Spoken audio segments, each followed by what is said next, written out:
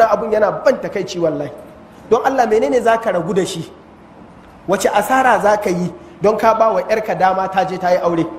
Ka ce sai ta gama. In ta gama albashin ne kake so? Ko satifiket din makarantar in ta gama wa kai za ta kawo? Ina ruwanka da za ka ce kar ta yi aure? Miji ne in za ka aurar ka ce masa 'yata tana makaranta ina so ta ci gaba. Shikenan me hana? Mata nawa ne suna gidan mijinsu suka yi sakandare ma suka yi jami'a har suka je suka zama suka zama komi. Don haka kar ka hana yarka damar da za ta yi aure ka tsare mata mutunci da lafiyarta. Duk abin da kake nema na karatun wata wallahi in bata samu nutsuwa da miji ba ba za ta iya maka ba. Kuma ta je ta ɗebo maka wani abun abun kunya. Wani bawan Allah ya zo ya tambaye ni shawara ya ce yarsa gashi tana junior secondary school. Junior secondary school aji ɗaya biyu uku. Sai ce ta kawo wani ta ce tana so kuma wani ya zo ya ce da gaske yana so. Ta ce mun tana so mata aure. Amma junior mata na ce ita ta ce ya ce eh na ce ka mata. In dai har ka iya ka tambaye ni to ni abin da zan ga maka kenan ka mata. Shikenan ce tunda ka ce haka ne ba shiri ba ga yayunta da komi suna makaranta. Na ce tunda ita ta ce ka mata. Shikenan sai mata aure tana junior. Wallahi gafata malam wata tara daidai sun cika sai gashi ta zo da yaro san lele. Ta dawo gida ta zo ta haifu sai kawo mun yaron sai ce da Allah malam ga yaron nan. Wance fa ta haifu yana ta murna. Ya ce da Allah ka masa huɗu ba sai na ce masa kafin in maka huɗu ba bari in ga maka wani abu. Na ce yanzu ba gashi ta haifi yaro ba? Ya ce eh. Na ce na rantse maka da girman Allah da raina yake hannunsa. Lokacin da na ce ka aurar da ita ɗin nan inda ka ki aurar da ita wallahi yau dole sai ta haihu kamar yadda yanzu kaga wannan yaron ta haifa. Saboda Allah ya kaddara sai ta haihu a yau kuma wallahi da ka aurar da ita da baka aurar da ita ba yanda Allah ya sa ta haihu nan sai ta haihu yau. Don haka yanzu ba gashi kana murna ka kawo shi ba yanzu inda ka barta ta haihu akan titi zaka yi zo ka zo ka gaya mu?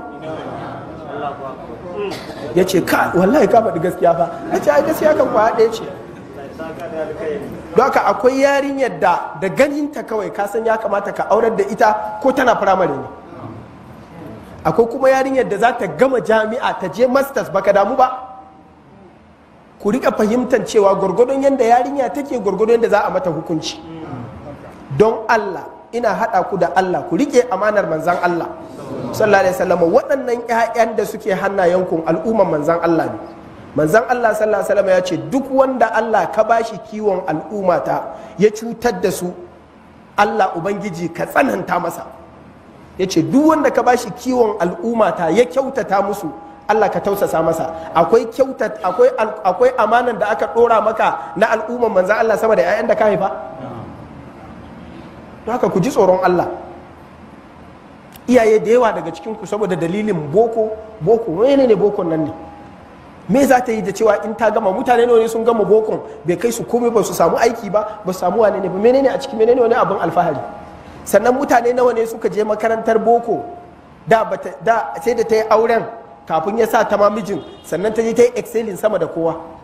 Na sha ba da labarin cewa a shekarar 2012 a ko 2011 a malaysia wata yarinya a international islamic university ina tunawa yarinyar nan ita ce ta zama overall student da take da 4 over 4 saboda over 4 ne suke yi. Take da 4 over 4 points. Ita ce tafi kowa maki a makarantar kuma wallahi medicine ta karanta. Haka da ta zo yin jawabi na godiya bayan an ba ta kyauta sai ta zo da ɗan yaronta.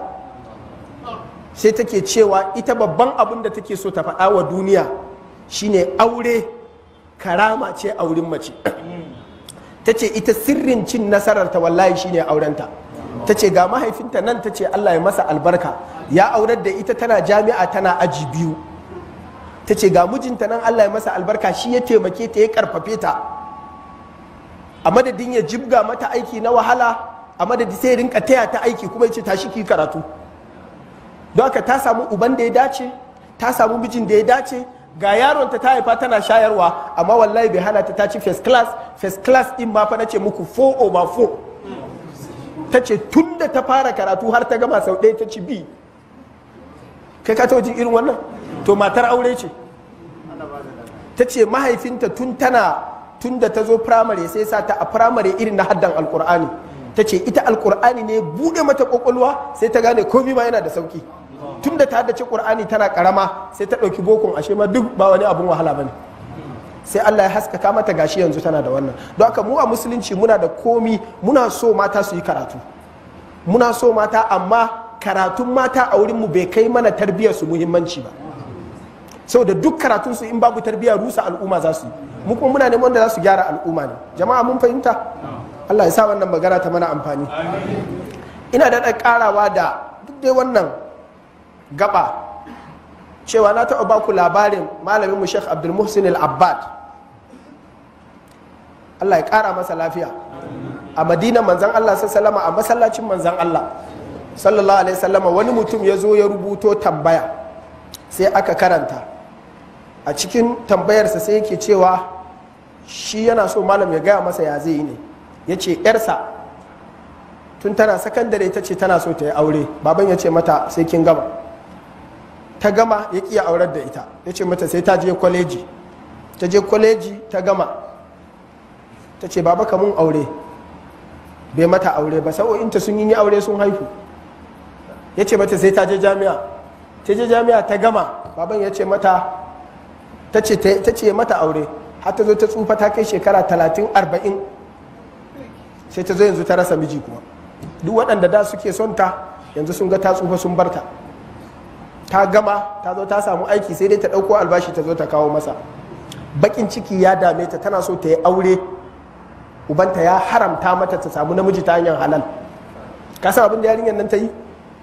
Wasiƙa ta rubuta wa baban ta ce zuwa ga babana na nemi ka aurar da ni. Ka ƙi ka aurar da ni ka haramta min wannan abu. Ta ce to ni ba zan iya zama a wannan duniyar ina kallon ka ba. Zan yi gaggawa in je wurin Allah in kai ƙararka.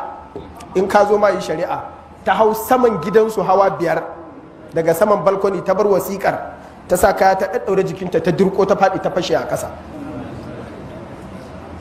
Aka zo wi wi wi aka zo aka ɗauke ta sai baban ya samu wasiƙan. Shine ya zo ya kawo gaban malam yana kuka ko malam ya ga masa ya zai yi. Malam ya yi ta kuka ya ce masa wallahi ban san yadda za ka yi ba. Lokacin da ta ce ka aurar da ita ya baka tambaye ni ya za ka yi ba. So yake malam ya ce ta kashe kanta ta mutu ta mutu kafira ko? Shi kuma musulmi. Don Allah ya kashe ta? Don haka baka san damuwar da yake cikin yarka ba in har ta iya nuna maka tana so ta yi aure wallahi abun ya kai bango ne. Duk wanda yarsa ta ce masa tana so ta yi aure don Allah ya aurar da ita musamman in ta samu wani. Ba ruwanka da cewa mutumin ba dan wane ne ba bai da kaza ina ruwanka? Ba ita ce ta zauna da shi ba? Ina ruwanka.